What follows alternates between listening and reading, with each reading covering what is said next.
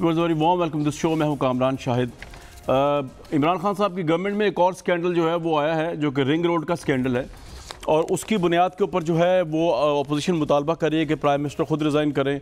और एक बहुत बड़ी करप्शन हुई है, जिसमें प्राइम मिनिस्टर के दो अहम तरीन लोग, गुलाम सरवर साहब और जुल्फ़ी बुखारी साहब को नवाजा गया है। इसकी जो कुछ डिटेल्स जो है, आपसे मैं शेयर कर लूँ, उसके बाद इस पर ज़रूर बात करेंगे।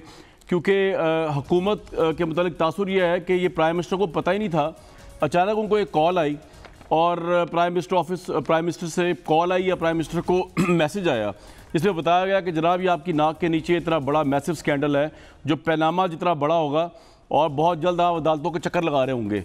तो इस स्कैंडल को देखें जिसमें प्राइम मिनिस्टर ने फौरी तौर पे जो है वो कमिश्नर को रेलिवेंट लोगों को बुला के पूछा। उन्होंने सबने कहा एवरीथिंग इज़ ओके लेकिन प्राइम मिनिस्टर ने क्योंकि अपने तौर पे पता कराया तो पता चला एवरीथिंग वाज नॉट ओके तो फिर पिंडी के कमिश्नर को भी गालबन फारिग किया गया, दूसरों को फारिग किया गया, फिर एक और कमिश्नर को लाया गया, जिन्होंने इंक्वायरी की। इंक्वायरी जो है, उसकी रिपोर्ट मेरे सामने मौजूद है और इस रिपोर्ट के अंदर जो है वो बड़ी अलार्मिंग बातें की गई हैं इस रिंग रोड स्कैंडल को लेकर सबसे पहले आपको बता दूँ, ये स्कैंडल है क्या? बेसिकली पंजाब हुकूमत 2017 में रावलपिंडी पर ट्रैफ़िक के दबाव कम करने के लिए 40 किलोमीटर की रिंग रोड बनाने का फैसला किया था। ये मनसूबा क्योंकि गवर्नमेंट आगे पीछे हो गई तो ठुस हो गया। लेकिन अचानक जो है, इमरान खान साहब के दौर में ये एक डेढ़ साल पहले एकदम एक्टिव हो गया और इसमें 40 किलोमीटर प्लस 26 किलोमीटर का इजाफा कर दिया गया। अब ये जो, उसमें नक्शा भी चेंज हुआ, मंजूर शुदा नक्शा भी थोड़ा चेंज हुआ और क्वेश्चन ये उठा कि बासर लोगों को, बासर शख्सियात हाउसिंग सोसाइटी से वाबस्ता हैं। उनको फ़ायदा पहुँचाने के लिए ना सिर्फ़ ये 26 किलोमीटर ऐड किया गया है, बल्कि नक्शा भी चेंज किया गया है। सबक कमिश्नर को मुतल किया गया, महमूद अहमद साहब को। और यह बताया गया कि मुतल होने वाले land acquisition commissioner Waseem Tabish ने सड़क के लिए ज़मीन के हसूल के घर से गलत तरीकाकार से दो अरब तीस करोड़ का मुआवजा अदा किया, राज़ी हासिल करते हुए संगजानी मारूफ ख़ानदान को फ़ायदा पहुँचाया। इसके अलावा इसमें काफ़ी हाउसिंग सोसाइटीज़ जो हैं, उनका फ़ायदा बताया गया कि जिन्होंने फाइलें बेच दी। ख़ासतौर पर एक जगह जहाँ पर ये बन ही नहीं सकता था, एक बड़ी सड़क चल रही थी, उसके अंदर इन्होंने उसके बाद जिग जैक कर दिया सड़क को, और वो एयरपोर्ट के पास, पिंडी का जो एयरपोर्ट है, उसके पास उसकी एक्स्ट्रा सिविल एविएशन के एनओसी के बाद परमिशन दी गई ज़िले अथॉरिटी ने। इसके ऊपर सवाल उठा कि ये बेसिकली किस तरह वहाँ पे परमिशन मिल गई? एक तो एयरपोर्ट है एयरपोर्ट के करीब हाउसिंग सोसाइटी को परमिशन मिल नहीं सकती। फिर आपने वहाँ पे उनको परमिशन दे दी सिविल एविएशन की तरफ़ से मिनिस्ट्री की तरफ़ से मुबैना तौर पर एन गया ज़िले इंतज़ामिया ने परमिशन दे दी और वो परमिशन देने के बाद वहाँ पर नवा हाउसिंग सोसाइटी है, नवा हाउसिंग सोसाइटी उन्होंने कोई नौ सौ सत्तर कनाल ज़मीन थी। उसकी बीस हज़ार फाइलें जो हैं, वो बेच भी चुके हैं अभी तक।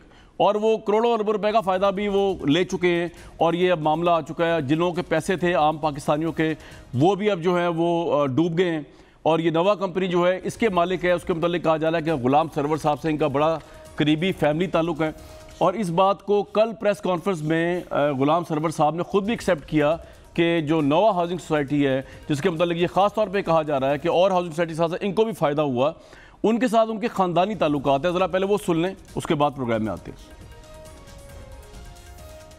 ना इस रिंग रोड की अलाइनमेंट चेंज करने में कोई ताल्लुक, ना नोवा के साथ फाइनेंशियल ताल्लुक, ज़ाती ताल्लुक हो सकता है। मेरा उस घर के साथ, उस ख़ानदान के साथ पैंतीस सालों से ताल्लुक है। और पैंतीस सालों में हो सकता है पैंतीस सौ बार मिले हों। रिश्तों से इनकार नहीं किया जा सकता, लेकिन फाइनेंशियल तल्लुक हमारे, ना मेरे ना मेरे किसी भाई के, ना मेरे किसी बेटे के। पंद्रह अप्रैल को सीए के एयरपोर्ट मैनेजर ने एक लेटर लिख दिया डिस्ट्रिक्ट एडमिनिस्ट्रेशन अटक को कि देख लें कि कहीं नोवा फनल एरिया में काम तो नहीं कर रहा। एनओसी अगर दिया है एनओसी की वर्डिंग भी देख ली जाए कि एनओसी के वर्डिंग में हाइट क्लियरेंस है। एक नई इंक्वायरी कमेटी इंक्वायरी कमीशन कोई इंक्वायरी करने वाला अदारा बने, जिसमें नाम पॉलिटिशियंस के भी आते हैं, जैसे कि मेरा नाम, मेरे ख़ानदान का नाम। मेरे एक और कुलीग जुल्फ़ी बुखारी, ज़रूर उनके वो ननियाल हैं। उन्होंने एक्सेप्ट किया फाइनेंशियल ताल्लुक नहीं, नवा सोसाइटी के साथ जिसको एनओसी दी गई, इनकी मिनिस्ट्री की तरफ़ से, लेकिन खानदानी और ज़ाती ताल्लुक है पैंतीस साल से, और यही इस रिपोर्ट में कहा गया कि सियासी इन्फ्लुएंस किया गया। ये रिपोर्ट जो कमिश्नर लिखी है प्राइम मिनिस्टर के कहने पर, हुकूमत के कहने पर, उसमें कहा गया। साथ ही जुल्फ़ी बुखारी साहब जो स्पेशल असिस्टेंट हैं, उनके मतलब भी आया कि वो तोकीर शाह से मुबैना तौर पर शायद उनकी रिश्तेदारी है और उनका ननिहाल जो ख़ानदान है, उनकी ज़मीनों का भी रेट बढ़ गया इससे और उनको भी फ़ायदा पहुँचा। जुल्फी बुखारी साहब ने इल्ज़ाम के बाद कल रिज़ाइन किया, जो कि बड़ा राइट डिसीज़न था, लेकिन इस पर भी सवाल उठ रहा है कि रिज़ाइन किया या रिज़ाइन प्राइम मिनिस्टर ने लिया। और आज काबीना की मीटिंग में सुना है कि सरवर साहब के साथ बड़ी तल्ख डायलॉग हुआ प्राइम मिनिस्टर का, लेकिन हम बात कर लेते हैं फवाद चौधरी साहब से, जो तमाम चीज़ों की तस्दीक या तरदीद कर सकते हैं। फवाद साहब, बहुत वॉम वेलकम और डबल वॉम वेलकम वज़ीर तलात और इशियात बनने के बाद दोबारा आप प्रोग्राम में पहली दो तशरीफ़ लाएँ। सर, ये आज आपकी प्रेस कॉन्फ्रेंस में सुन रहा था, आपने कहा कि अरबों करोड़ों रुपया हुकूमत ने बचा लिया, वो वाकई बचा लिया, लेकिन उससे फिर भी दो तीन सवाल उठते हैं। एक तो ये बता दीजिए कि गुलाम सरवर साहब खुद ये मान रहे हैं कि उनका नवा सोसाइटी, हाउसिंग सोसाइटी के मालकान के साथ ज़ाती ताल्लुक है, ख़ानदानी ताल्लुक है पैंतीस साल का। तो आपको ये लगता नहीं, जब आप कमिश्नर की रिपोर्ट भी कह रही है पोलिटिकल इन्फ्लुएंस यूज़ हुआ है, नाम नहीं है गुलाम सरवर साहब का तो गुलाम सरवर साहब यहाँ कॉन्फ्लिक्ट ऑफ़ इंटरेस्ट के के उसमें ऑर्बिट में आते हैं और उनको भी रिजाइन करना चाहिए था वॉलेंटरली जब तक इंक्वायरी पूरी ना हो जाए। देखिए पहली बात तो ये है कामरान शाह साहब कि आपको तो अपने इंट्रो में थोड़ी सी तसी जो है वो मैं आपकी इजाज़त से करना चाहूँगा। जनाब। पहली बात तो ये है कि इसमें फ़ायदा पहुँचाया नहीं गया फ़ायदा पहुँचाने से बचा लिया गया। यानी ये स्कैंडल ये नहीं है कि किसी को फ़ायदा पहुँचा। ये मैंने कह दिया था आपने हाँ, मैंने कहा बचाया हुकूमत ने पैसा आपने कहा किसी को फ़ायदा पहुँचाने की कोशिश को नाकाम बना दिया गया ये एक तो बात है। दूसरी बात है। दूसरी बात यह है कि आपको याद है चार साल आप खुद पीपल्स पार्टी के दौर में भी और पीएमएलएन के दौर में भी गले सूख जाते थे स्कैंडल्स की बातें कर करके कभी किसी हुकूमत ने उसका नोटिस तक नहीं लिया। और ये उनको जाने के बाद ही हर स्कैंडल की तहकीकात शुरू हुई। तो पहले तो इमरान खान की हुकूमत को आप ये क्रेडिट दें जी बिल्कुल देते हैं। जो भी चीज़ें सामने आती हैं उनकी इन्वेस्टिगेशन होती हैं रिपोर्ट्स पब्लिक होती हैं और आप लोगों को ये मौका मिलता है देखने का कि इसमें क्या हुआ कैसे हुआ कौन मतलब फ़ायदा किसको हुआ और कार्रवाई क्या हुई और फिर उसके ऊपर एक तनकीद भी होती है और सारी चीज़ें मैं मैं एक एक मिनट आपको कहना चाहूँगा मैं तो इमरान खान साहब की नीयत पे इस मामले में शक कर रही ना मैंने तो अप्रिशिएट किया और इंक्वायरी बिठाई उनको इतला मिली। बिल्कुल सही है। मैं तो सवाल उठा रहा हूँ कि अगर जुल्फी बुखारी साहब ने रिजाइन किया है तो गुलाम सरवर साहब क्यों नहीं कर रहे? उन पे अभी मैं आ रहा हूँ अभी मैं आ रहा हूँ। मैं अभी सिर्फ़ आपकी जो नहीं मैंने ये कहा था कि प्राइम मिनिस्टर ने बचाया है पैसा आपने कहा है प्रेस कॉन्फ्रेंस मैंने कहा था ये। हाँ नहीं लेकिन वो मैं ये कह रहा था कि आप सिर्फ़ कंपैरिजन भी करना ज़रूरी है ना कि मौजूदा हुकूमत की किस कदर एक क्लीन गवर्नमेंट है और सबका हुकूमतों का क्या रवैया था तो एक कंपैरिजन जरा लोगों को मिलना चाहिए। बिल्कुल ठीक है बिल्कुल तो इमरान खान बात करते हैं या हम बात करते हैं कि नहीं निज़ाम तब्दील किया है तो वो यही निज़ाम की तब्दीली है। अब आज ये फैक्ट्स की तरफ़ जो आप जुल्फी की बात कर रहे हैं या गुलाम सरो खान साहब की बात कर रहे हैं देखें वज़ीर अजम साहब को जो है, वो इतला मिली कि इसकी जो अलाइनमेंट है, उसको चेंज किया गया है। उनतीस किलोमीटर सड़क एक्स्ट्रा बनाई जानी थी। उसकी जो इंजीनियरिंग डिफ़ॉल्ट था, वो ये था कि पीछे सड़क 120 किलोमीटर की रफ्तार के हिसाब से बनाई गई और संगजानी के मुकाम के ऊपर वो सड़क तंग करके 90 किलोमीटर की स्पीड के ऊपर ले आएगी जिसके नतीजे में बहुत एक्सीडेंट्स होने थे बिकॉज़ एक गाड़ियाँ तेज आ रही हैं फिर आप उसको जो है वो स्लो तंग कर रहे हैं तो ज़ाहिर एक्सीडेंट्स होने थे। अब और ये लाहौर में स्पेशली या कराची में कई सड़कें हैं जहाँ पे लोगों को पता है स्पेशली लाहौर के जो अंडर पासिस बने हैं कि जब आप अंडर पास के पास पहुँचते हैं और स्क्वीज होता है तो वहाँ पे कितना एक अजाब मचता है ट्रैफ़िक का तो ये एक इशू अच्छा। अब उसके ऊपर जो तहकीकात हुई हैं, अब तक जो कमिश्नर पिंडी ने की है और चौवन पैराग्राफ उन्होंने लिखे हैं, उसमें दो तरह की चीज़ें हैं।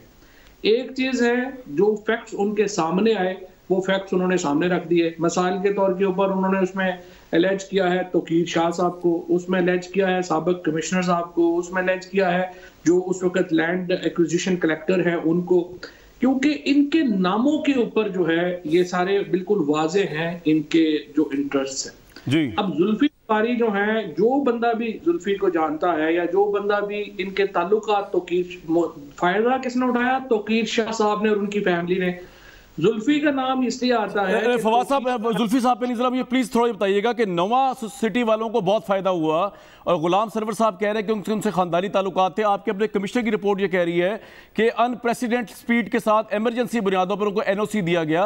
तो गुलाम और वो कह रहे हैं पोलिटिकल इन्फ्लुएंस यूज़ हुआ है रिपोर्ट के तो आपकी अपनी गवर्नमेंट की रिपोर्ट जिसको हम अप्रिशिएट करते हैं और आप भी कर रहे हैं। तो गुलाम सरवर साहब के ऊपर कोई सवाल नहीं हुआ। जी। सवाल है उस पर एक दफ़ा मैं जुल्फी साहब पे दोबारा आता हूँ सर। जरा पहले गुलाम सरवर पे। नहीं नहीं नहीं नहीं नहीं नहीं पहले आपने देखे ना आपने एक बात की सर मैं उस पर आऊँगा मैं छोड़ूँगा थोड़ी उस बात को मैं आऊँगा उसके ऊपर सर जरा इस पे तो करने यहीं से शुरू कर लेते हैं ना अच्छा अब जुल्फी का और तोकीर शाह साहब के जो भी बंदा थोड़ा सा भी उनको जानता है उनको पता है उनके कोई आपस में ताल्लुकात नहीं है। ठीक है। लिहाजा अगर उनकी फैमिली को कोई फ़ायदा पहुँचा है तो जुल्फी का सवाल ही पैदा नहीं होता उससे कोई ताल्लुका। ही इज़ एन ऑनरेबल मैन उसने क्या एलिगेशन लगा है आप पहले तहकीकात कर लें उतनी देर मैं इस सीट के ऊपर नहीं रहता तो वो अलहदा हो गए अब आ जाइए ये नवा सिटी गुलाम सरवर खान साहब के ऊपर। रिपोर्ट में गुलाम सरवर खान साहब के ऊपर कोई एलिगेशन नहीं है। नहीं है। रिपोर्ट में ये भी नहीं है कि इस मामले के ऊपर जो नवा सिटी है उन्होंने सिविल एविएशन से कोई फ़ायदा उठाया है। अब सिविल एविएशन ने ये किया है कि जो नवा सिटी को हाइट परमिशन जो है वो दी है। हाइट परमिशन की पॉलिसी जो है वो फेडरल कैबिनेट ने अप्रूव की हुई है वो उस पॉलिसी के मुताबिक है हाँ अगर आप ये कहते हैं वो फनल एरिया के अंदर है तो वो फिर सिविल एविएशन उसकी जो है सकती। सर सर सवाल ये है कि जब इनका 35 साल ताल्लुक था जो कल उन्होंने एडमिट किया प्रेस कॉन्फ्रेंस में जाती ताल्लुक था आपकी इस रिपोर्ट में लिखा हुआ है issue number nine conflict of interest in Nova City commissioner की रिपोर्ट जो है तो गुलाम सरवर साहब ने एनओसी उनको जारी क्यों किया? उनको या तो प्राइम मिनिस्टर के नोटिस में लाना चाहिए था, जब ये कॉन्फ्लिक्ट ऑफ़ इंटरेस्ट का मामला सीधा। उल्टा प्राइम मिनिस्टर को पता चला कहीं से तो उन्होंने इस इंक्वायरी को अगर वो ना देखते तो ये तो काम हो गया था। और दूसरा नवा सिटी वाले जो है, वो आम आवाम को डैमेज कर चुके हैं। आप कह रहे हैं ना कि आवाम का अरबों रुपया बचाया, बिल्कुल बचाया प्राइम मिनिस्टर ने कि सड़क नहीं बनने दी। लेकिन जो फाइलें नवा सिटी वाले बेच गए जो कि फ्रेंड हैं फैमिली फ्रेंड हैं पैंतीस साल के, गुलाम सरवर साहब के, उसका नुकसान किसको होगा? और गुलाम सरवर से सवाल क्यों नहीं पूछा प्राइम मिनिस्टर ने? उन्होंने क्यों नहीं रिजाइन किया? उस हाई मॉरल ग्राउंड पे जुल्फी बुखारी ने की है। सर नहीं देखिए पहली बात तो यह है कि नवा सिटी के ऊपर तो ये इल्ज़ाम आप लगा रहे हैं। इस रिपोर्ट में तो इस तरह का कोई इल्ज़ाम नहीं है। दूसरी बात ये बात कहनी आपकी कि 920 कनाल थी और वो बीच बीच गए बीस हज़ार बेच गए हैं वो। ये भी रिपोर्ट में तो कोई, कुछ नहीं लिखा हुआ। ये तो मैं आपसे सुन रहा हूँ। तीसरी बात यह है कि जो सिविल एविएशन के अपने प्रोसेसेस हैं ये कहना मेरे आपसे मेरा ख्याल है, सालों पुराने ताल्लुकात हैं। अब ये तो नहीं हो सकता कि कामरान शायद इसलिए जो है उसको कोई फ़ायदा ना पहुँचे कि उसके फेडरल मिनिस्टर से बड़े ताल्लुकात हैं। ये तो ताल्लुकात होना इटसेल्फ तो मेरे नहीं ख्याल को डिस्कालिफिकेशन है। इलीगल ताल्लुकात का फ़ायदा उठाना डिस्कालिफिकेशन है। लेकिन ताल्लुकात देखिए, मेरे साथ लोग हज़ारों लोग रोज सेल्फियाँ बनाते हैं या बात आते हैं। मेरे सैकड़ों लोग जो है, वो मुझे विज़िट करते हैं। You can't really accuse all of them कि ये इनके ताल्लुकात हैं और ये काम इनके सारे बंद हो जाने चाहिए बिकॉज़ इनके ताल्लुकात हैं। लेकिन फवाद साहब, आप मुझे एक बात बताइए, आप खुद कह रहे हैं कि प्राइम मिनिस्टर ने पैसे बचाए, वो सड़क जो है, वो गलत जा रही है, उसकी लेन छोटी है या उसकी वहाँ पे उसको मिल ही नहीं सकती थी परमिशन तो आपके ख्याल में वो परमिशन सही मिली है? जो नोवा सिटी को जो सड़क टच कर रही है, जो एक्स्ट्रा है, जो उस नक्शे की भी मॉडिफिकेशन की गई है, जो कि शबाज शरीफ का ओरिजिनल प्लान था वो आपके ख्याल में सही है? अगर वो सही है तो फिर आपने उसको सड़क को आप बनाएँगे आप। पर चले, इसका जवाब दे दें। अगर नवा सिटी का कोई प्रॉब्लम नहीं है तो फिर तो आपने वो पैसे कौन से बचाए? फिर तो सड़क बनाएँगे आप, जिसमें उनको फ़ायदा हो रहा है लेजिटली तो दोबारा मैं आपको जरा तस्ही करना चाहता हूँ। पहली बात तो ये है कि ये सड़क जो है, ये उनतीस किलोमीटर की सड़क है, जो तकरीबन नौ हाउसिंग सोसाइटीज को इसका फ़ायदा पहुँचना था। और रिपोर्ट में लिखा गया है, उन नौ सोसाइटीज में से एक सोसाइटी जो है, वो नवा हाउसिंग सोसाइटी है। अब बाकी जो आप कह रहे हैं कि वो सही बनी है या गलत बनी है again not my business Ghulam Sarwar Khan भी यही कह रहे हैं वो कह रहे हैं गलत बनी है आप उसको बंद कर दें उसको आप गिरा दें उसको एनओसीज कैंसिल कर दें। सर सर सर फवाद भाई एक मिनट ये आप ना सुन लें आप कह रहे थे रिपोर्ट में कहा लिखा हुआ है ये मैं आपको पढ़ के सुना देता हूँ। ये लिखा हुआ है कि Nova City allegedly extending itself to the funnel area structure free zone Allegedly, the society has made sales beyond its current land holding because of the marketing high built around the Atak loop of rupees 3 R3 and local access from the R3. और ये तो बन ही नहीं सकता था। आप खुद भी कह रहे हैं इसको बचाया गया ये इनको इतनी परमिशन इतनी इनको हालाशेरी किस तरह मिल गई कि इन्होंने उस लैंड में जो उनकी पोजेशन में भी उतनी लैंड ली थी, उससे ज़्यादा उन्होंने फाइल्स भी बेच दी, उस जगह पे भी फाइल्स बेच दी जो आप कह रहे हैं कि आपने रोक दिया है, उसकी कंस्ट्रक्शन गलत है, उसका नक्शा गलत है। कोई पोलिटिकल इन्फ्लुएंस तो यूज़ हुआ आप कह रहे हैं कहीं नहीं यूज़ हुआ। प्राइम मिनिस्टर ने तो यूज़ नहीं किया, किसी मिनिस्टर ने भी यूज़ नहीं किया और गुलाम सरवर साहब ने भी यूज़ नहीं किया। आप ये कह रहे हैं जिनके, उनसे टर्म्स है पैंतीस साल। देखिए पहली बात तो ये है कामरान जो मुतालबा आप कर रहे हैं वही मुतालबा गुलाम सरवर खान कर रहे हैं। वो कह रहे हैं कि आप तहकीकात करें और अगर इन्होंने गलत किया है तो आप उनको बंद कर दें। तो I don't see any conflict between जो आप सर लेकिन जो बिक गई हैं जो लोगों ने खरीद लिए उनके तो पैसे डूब गए ना। फिर अगर आप आप कह रहे हैं कि ये जगह ही सारी गलत तरीके से लॉट की गई है ये जगह बनती ही नहीं, है आपने रोक दिया उसको। जी। नहीं देखिए मैं नहीं कह रहा।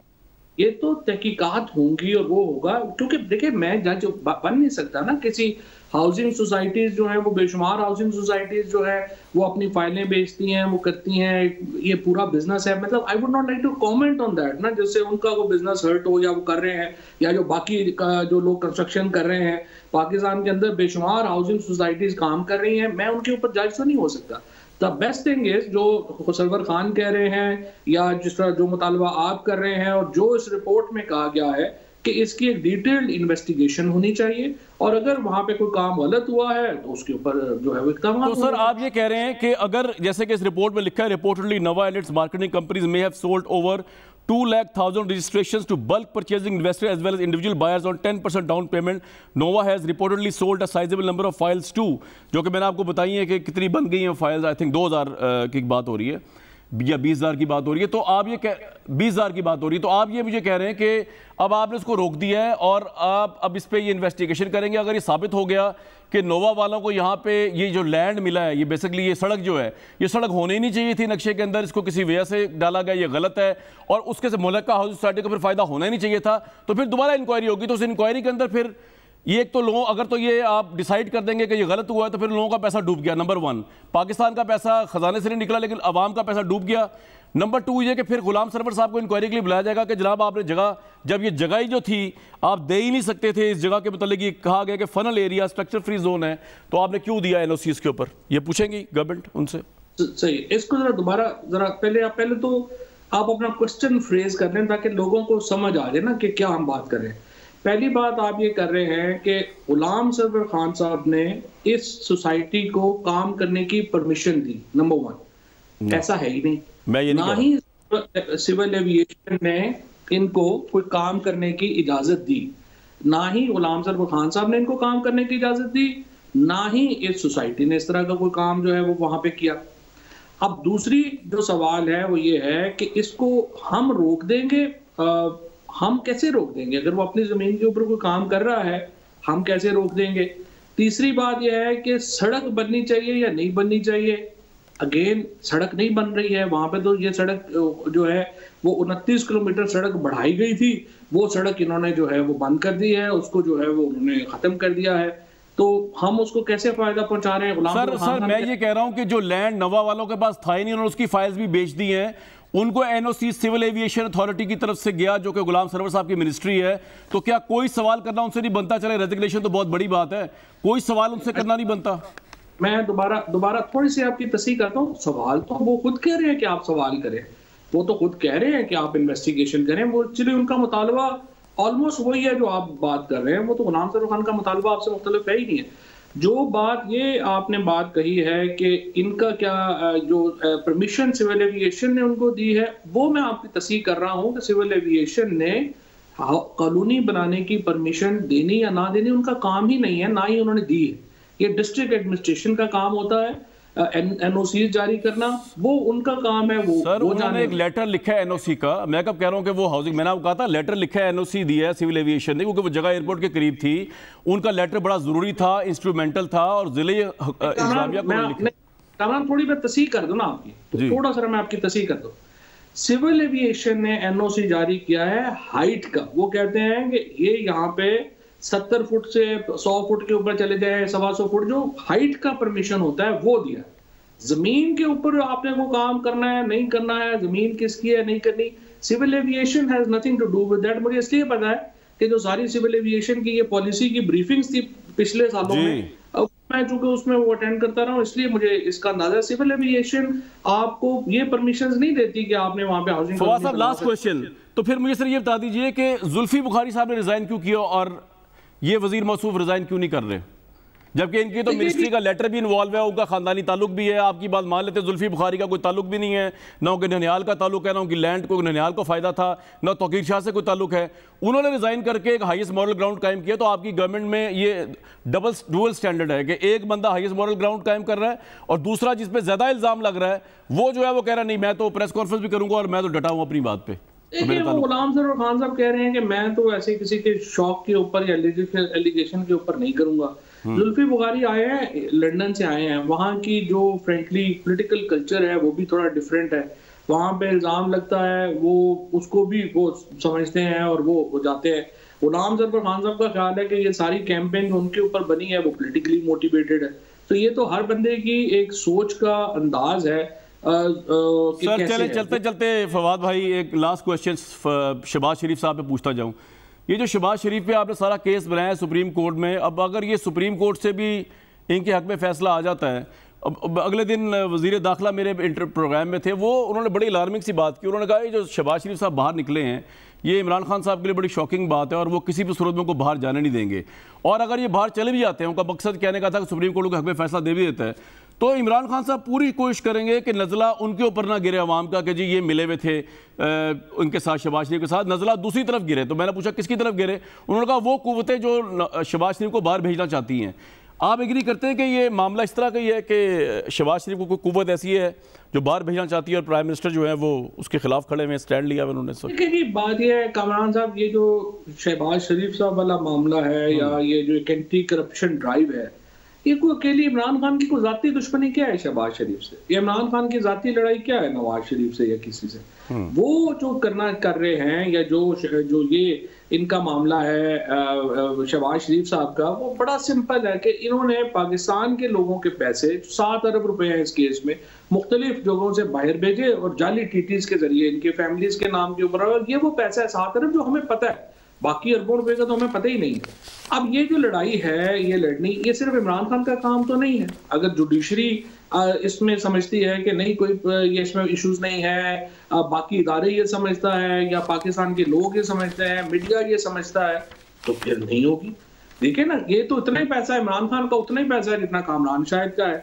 अब नवाज़ शरीफ साहब को जब बाहर भेजा गया क्या मीडिया के फवाद भाई बात बताऊँ क्या है? आपकी सारी बातों की बात एक तरफ़ वो तो आपने भी पता सुबह से आप ये प्रेस कॉन्फ्रेंस कर रहे हैं कल भी कर रहे हैं कि जी हमें लाहौर हाई कोर्ट का फैसला हम मानते नहीं हम हम सुप्रीम कोर्ट जाएँगे।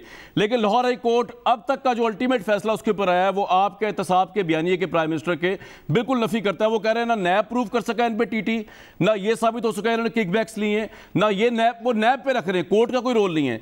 NAB has failed to prove that Shahbaz Sharif has done any corruption through TT और किकबैक्स जी। देखिए कामरान वो तो हम इसीलिए फैसले को सही नहीं समझते और इसीलिए नैब फैसले को सही नहीं समझते। सर आपने तो कहना ही है लेकिन अभी तक का यही फैसला है कि आप गलत हैं लॉ हाई कोर्ट कह रहा है कि वो सही है। अब सुप्रीम कोर्ट आपके हक में आएगा तो हम कह देंगे आप सही हैं।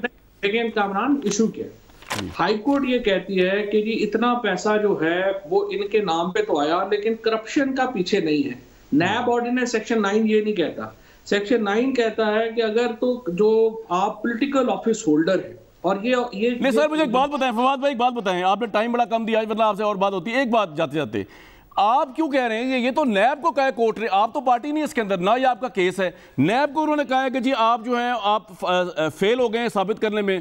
तो नैब जाने और वो जाने आप क्यों कह रहे हैं कि आपको तो कहना चाहिए ठीक है लाहौर कोर्ट अगर कह रहा है हो सकता है उन्होंने करप्शन ना की हो। नहीं देखे जो बुनियाद है वो सही नहीं है ना। अच्छा। अगर शहबाज शरीफ साहब के लेट से एक आदमी के जराए आमदन वो है ही नहीं कि वो आ, आ, महीने का दो करोड़ रुपया खर्च कर रहा है। बिल्कुल ठीक है सर। पब्लिक ऑफ़िस होल्डर है उसकी तनख्वाह दो लाख रुपए है। तो दो करोड़ रुपया जो खर्च कर रहा है वो चले sir let's see Supreme Court क्या फैसला करता है? लेट्स सी फवाद चौधरी साहब बहुत शुक्रिया मैं मौजूद थे एक ब्रेक लूँगा उसके बाद। राना सनाउल्ला साहब से कुछ बड़े क्रिटिकल सवाल कर रहे हैं नून लीग की पॉलिटिक्स को लेकर और शहबाज शरीफ और नवाज़ शरीफ साहब के फ्यूचर को लेकर ब्रेक के बाद।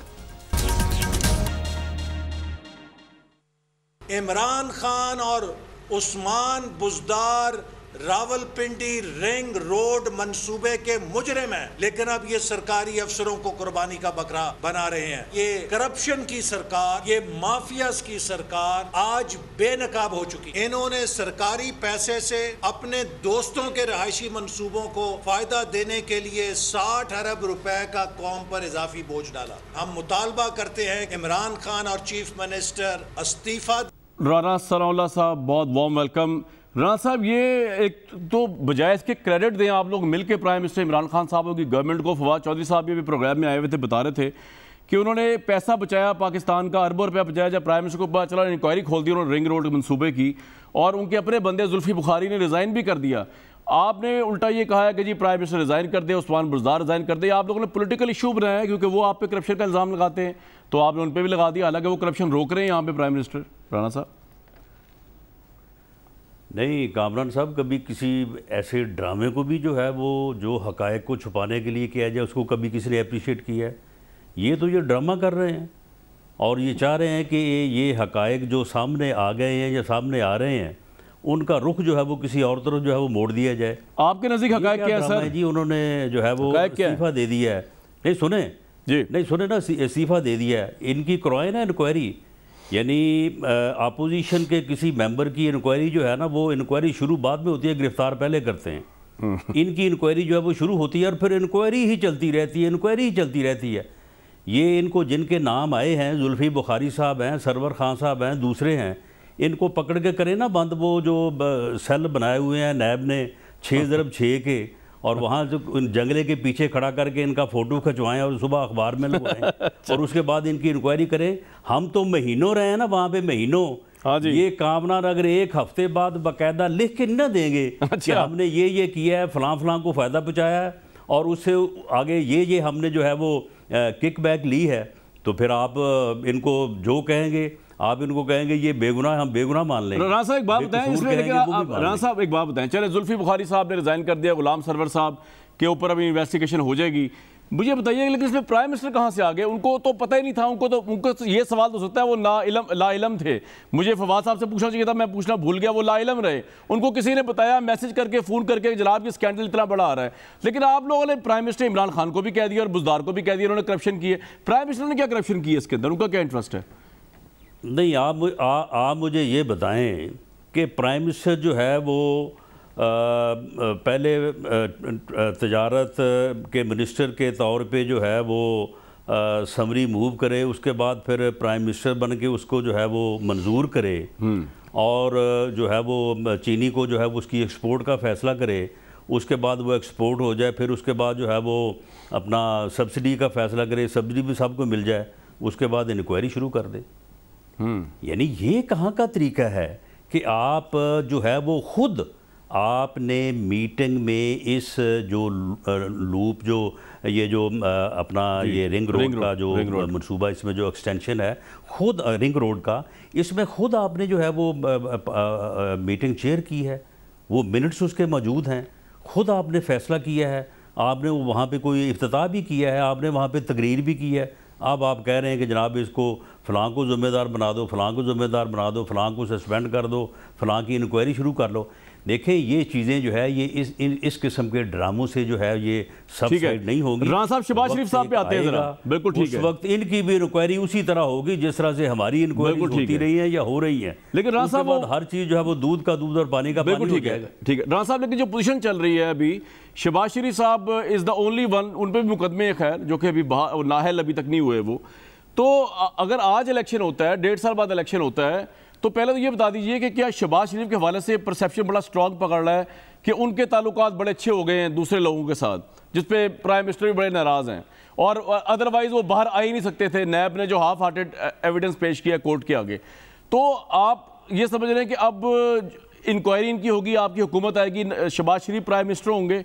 ये ऐसा होगा? वो उनके ताल्लुक आप लोग ठीक हो गए इदारों के साथ? देखें, जब Pakistan Muslim League Noon election के नतीजे में मेजॉरिटी पार्टी के तौर पे इन ताला जब वो सामने आएगी तो पार्लिमानी पार्टी का अजलास होगा। वो पार्लिमानी पार्टी जो है वो खुद फैसला करेगी या उसका इख्तियार जो है वो पार्टी लीडर को देगी। वो जिसको भी बनाना चाहेंगे या जिसके हक़ में फ़ैसला करेंगे, वो फ़ैसला जो हो जाएगा। लेकिन जहाँ तक मियाँ शहबाज शरीफ साहब के ऊपर ये केसेस वगैरह का मामला है इसमें ये बात ऐसे नहीं है कि जी नैब ने हाफ़ हार्टड जो है वो उनके ख़िलाफ़ गवाही पेश की है।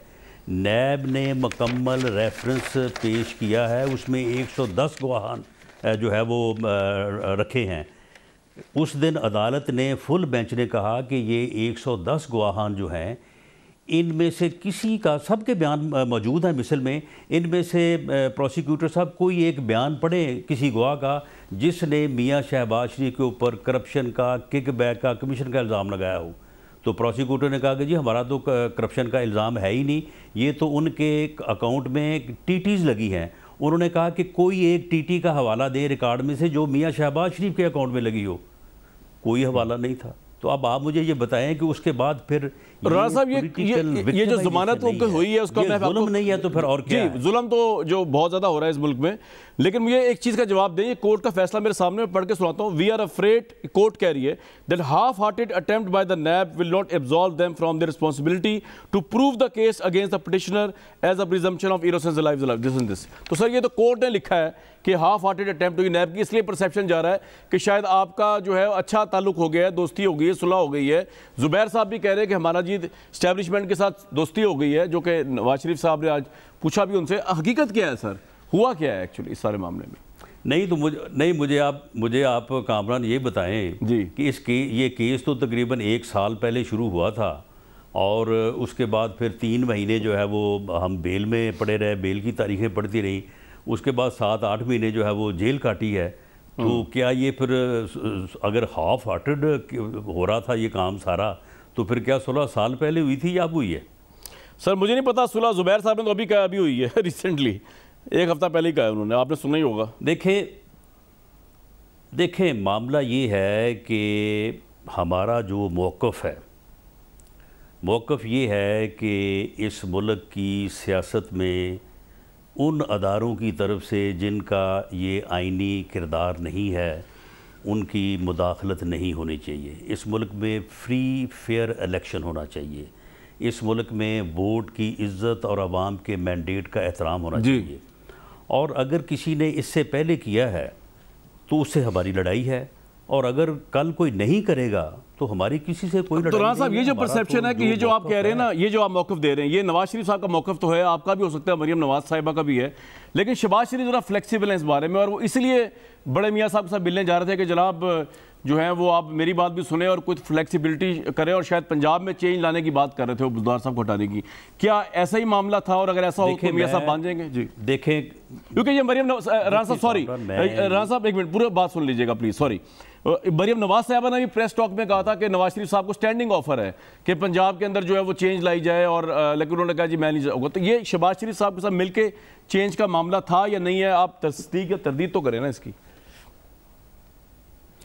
देखें पहली बात तो ये है कि मियाँ शहबाज शरीफ साहब का मौक़ यही है लेकिन उनका एक हमेशा से उनका ये मौक़ रहा है कि हमें कम से कम जो है वो महाजराई करना करनी चाहिए। वो महाजराई के वो हक में जो है वो कभी भी नहीं हुए। हम्म। अब आ जाएँ आप अपने जो है वो सवाल की तरफ़। जी।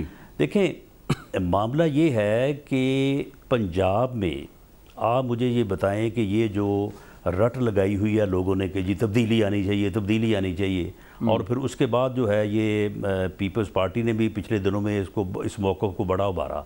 हम्म। आप मुझे बताएँ कि पंजाब में क्यों लीग अगर पीटीआई की गवर्नमेंट को छोड़ के बाहर नहीं आती तो आप जो फिगर्स हैं पीपल्स पार्टी के गालबन सात वोट हैं। जी। और हमारे जो है वो 160 वोट हैं। और उसके बाद इतने ही वोट करीब करीब हैं पीटीआई के। तो बात ये कि उसके बगैर आप मुझे बताएँ कि ये तब्दीली जो है ये कैसे आ नहीं आपको कोई ऑप्शन ऐसी मिली है सर? शबाज शरीफ साहब को आपको कि जी पंजाब में चेंज लाया जाए लेकिन नवाज़ शरीफ साहब नहीं माने? नहीं मेरे मेरे इलम में तो नहीं है लेकिन ये बात जो होती रही मरियम साहबा ने कही है। इसके ऊपर पार्टी का एक पार्टी का एक असूली मौक़ है। हम्म। कि कोई भी चेंज वो पंजाब में हो या मरकज़ में हो हमने इलेक्शन की तरफ़ बढ़ना है। हम गवर्नमेंट बना के जो है वो इसको आगे राना साहब ये जो बात है ना इलेक्शन वाली ये बड़ी अहम बात है। देखें नवाज़ शरीफ साहब का वोट है ये सारी दुनिया जानती है। अब जबकि नवाज़ शरीफ साहब आज इलेक्शन होता है या डेढ़ साल बाद इलेक्शन होता है अगर सिचुएशन हम तो ये ज्यूम कर रहे हैं ना कि वो बाहर बैठे हुए हैं। वो तायाद नाहल हैं मरीम नवाज़ साहबा सात साल के लिए नाहल हैं। तो आपके पास अवाम जो है, अगर Shahbaz Sharif is the only candidate या Rana Sanaullah is the only candidate साहब या शायद खाकान भाई साहब कैंडिडेट अवाम फिर भी वोट देगी कि नवाज़ शरीफ साहब बाहर ही हों, मरियम नवाज़ साहबा सियासत से बाहर ही हों, फिर भी आपको लगता है आपको वोट मिलेगा, आपकी लीडरशिप की पोजिशन हो अगर? जी, सौ फ़ीसद मिलेगा और आपके इलम में होगा कि 2018 2008 के इलेक्शन में दोनों मियाँ साहबान जो है, वो दोनों जो है, वो उस वक्त भी इसी सूरत हाल का उनको सामना था कि वो दोनों जो है वो नाहल थे। लेकिन सर पाकिस्तान में थे। उस इलेक्शन में जो है वो पाकिस्तान में थे लेकिन। जी वो पाकिस्तान हाँ पाकिस्तान में थे। उसके बावजूद लोगों ने जो है वो वोट दिया था।